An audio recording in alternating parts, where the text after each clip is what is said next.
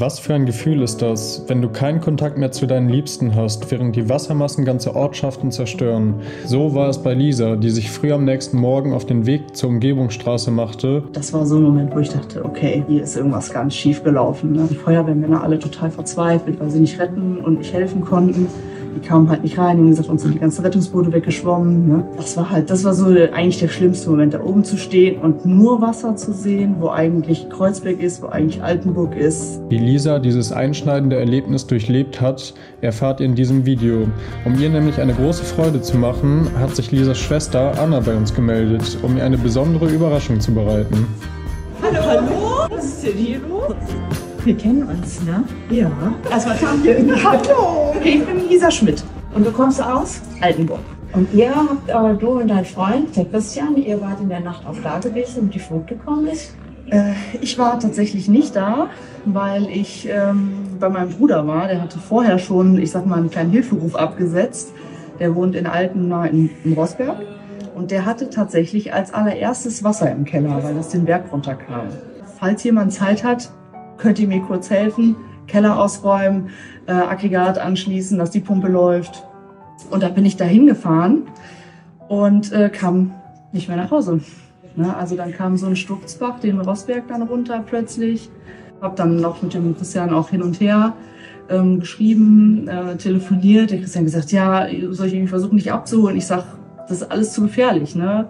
Bleib du da, ich bleib hier, wir gucken, wie es läuft, dass es dann so schlimm wurde in Altenburg selber, ähm, wusste ich natürlich oder konnte ja keiner von uns wissen. Und äh, da habe ich schon auch ein bisschen äh, ja, andere Sorgen gehabt.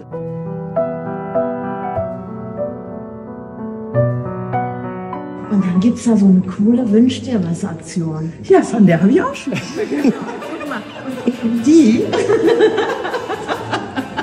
Die hat für dich einen Wunsch eingereicht.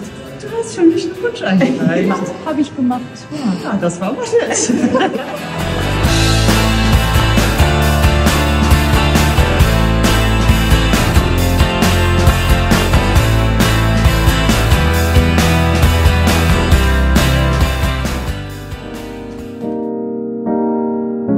Wir im Rossberg waren natürlich relativ sicher, da kam das Wasser ja nicht so hoch. Zusammen mit meinem Stiefvater übrigens, der nämlich auch nicht zu Hause war.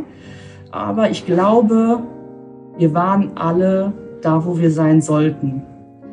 Weil mein Stiefvater auch, der war, äh, der wusste auch nicht, wohin mit seinen Gefühlen, ne? weil die Mama ja in Kreuzberg war, der Christian war in Altenburg und wir beide waren halt in Altena. Aber wir konnten uns halt gegenseitig ganz gut runterholen und immer, also einer von uns beiden war dann immer so ein bisschen aufgewühlt, eine andere ruhiger und dann war es mal andersrum.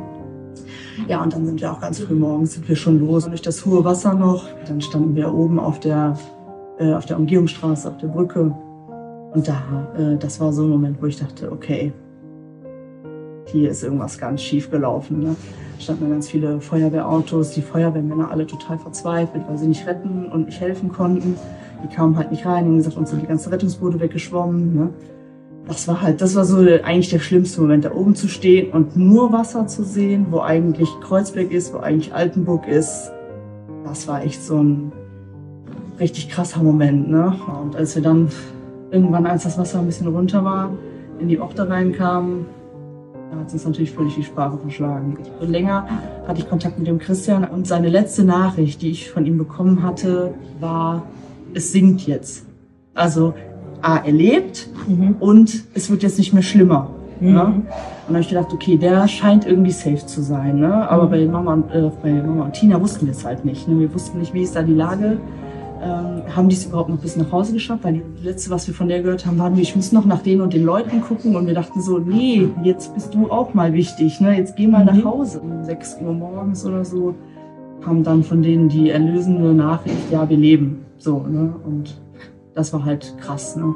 Also es war einfach krass, so eine Nachricht zu kriegen und dann uns ist so ein Stein vom Herzen gefallen. Ne? Wir haben totales Glück gehabt, alle verteilt, aber allen ging es gut. Ne? Und das ist ja erstmal das Wichtigste dann. Ne?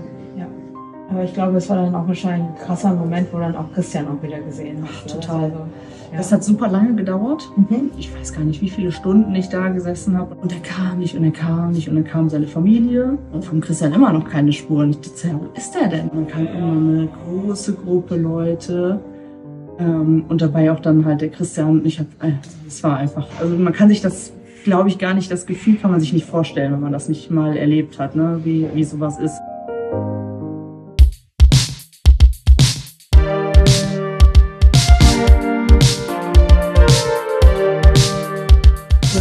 Nach dem Richtigen an.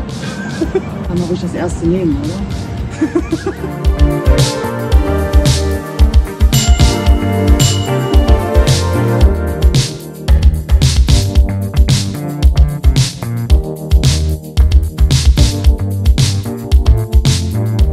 Wie habt ihr das erlebt? Ich meine, da kam ja irgendwann dann so eine komische Mannschaft. Also ganz generell alle Helfer, oder es waren ja so unglaublich viele Leute da.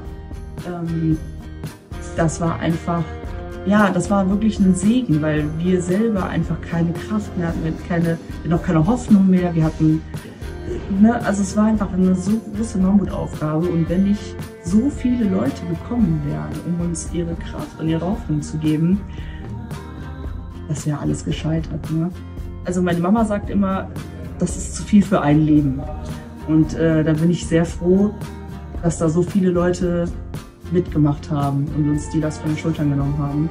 Ja, und speziell äh, die Dachzellennomaden, da kann ich auch einfach nur Danke, Danke, Danke sagen. Aber da waren zweimal äh, wirklich große Trupps von den Dachzeltnomaden da und haben ähm, super viel geholfen. Und an dem Tag, als ich auch da war, haben wir die äh, Außendämmung abgemacht. Mhm. Und das war kein Styropor. Also das war richtig fies. Ja. Und wir sind einfach unfassbar dankbar, dass uns dabei so viele Leute geholfen haben. Und es ist ja nicht nur die Arbeit, die dann getan wird, sondern es sind halt auch diese ganz vielen kleinen Gespräche. Wenn einfach mal einer kommt und fragt, hey, wie geht's dir gerade? Kann ich sonst noch was für dich tun? Ne? Oder wenn vielleicht einer vorbeikommt und hat mal ein Stück Kuchen dabei und du denkst, oh jetzt, ne? Also das sind auch diese kleinen Dinge, die einem so helfen. Nicht immer nur der große Berg Arbeit, der geschafft wird, sondern auch diese kleinen menschlichen Dinge, die einem einfach total weiterhelfen. Und dann sind wir abends, äh, sind wir aus Altenburg rausgefahren und da standen so unfassbar viele Menschen. Ich habe so gedacht, was machen die alle hier? Mit Schippen, mit Schaufeln, mit Eimern, mit Besen. Ne? Und die standen alle da aufgereiht. Bis ich verstanden habe, dass das der Punkt ist, wo die mit dem Bus abgeholt werden nachher. Ne? Ich, hat, ich hatte das Gefühl, da sind eine Million Menschen in unserem Dorf, ne? die alle nur helfen wollen. Und das war irgendwie so, ich habe gedacht, wow, ihr seid ihr krass.